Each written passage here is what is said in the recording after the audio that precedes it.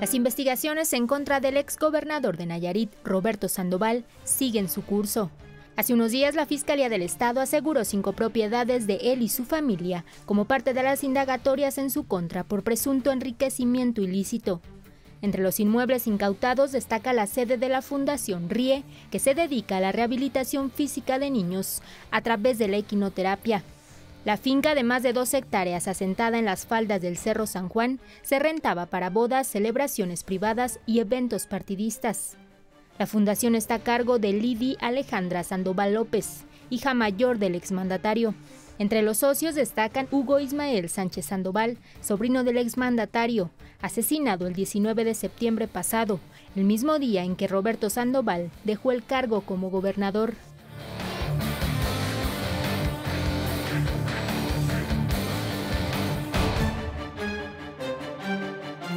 Otra propiedad asegurada fue un rancho de 29.552 metros cuadrados, ubicado en el ejido La Cantera. El sitio se ubica a 30 minutos del centro de Tepic. Desde el aire se observan dos ruedos y un encierro, así como dos estructuras laminadas, un paseo arbolado y tres excavaciones que podrían ser lagos artificiales. En este lugar podrían haberse resguardado caballos pura sangre, de los cuales Sandoval presumía con sus socios ser su criador. Los caballos eran importados desde España y fueron decomisados en un operativo de la Fiscalía del Estado.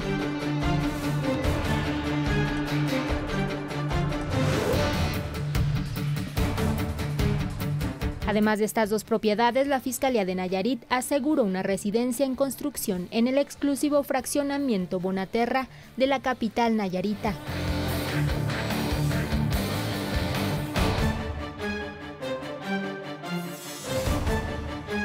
En el exclusivo fraccionamiento residencial Lago David, en la zona conocida como el Armadillo en Tepic, también se decomisaron dos lotes unificados, el 6 y el 7, ubicados en circuito Lago David.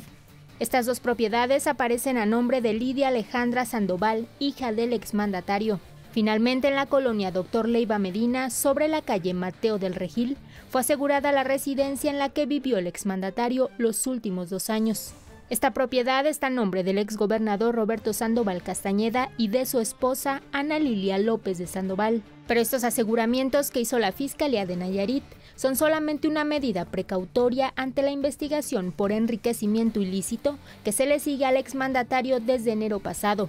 No significa que los inmuebles estén incautados, es decir, solo se inmovilizan para que no haya un cambio de propietario.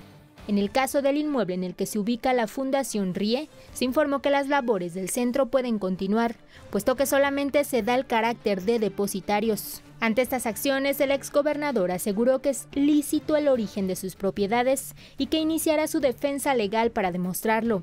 Sandoval anunció que el abogado José Luis Nazar llevará su defensa, a través de un mensaje en Facebook, Sandoval aseguró que se abocará a atender jurídicamente de manera inmediata y con plena disposición para acreditar sin lugar a dudas el origen lícito de su patrimonio. Por lo pronto, Rodrigo González Barrios, vocero de la llamada Comisión de la Verdad que promovió las demandas penales en contra de Roberto Sandoval, señaló que pronto darán a conocer datos sobre el caso de las 12.000 cabezas de ganado provenientes de Nueva Zelanda y adquiridas con recursos federales y con las que están involucrados tanto Sandoval como el ex gobernador de Chihuahua, César Duarte.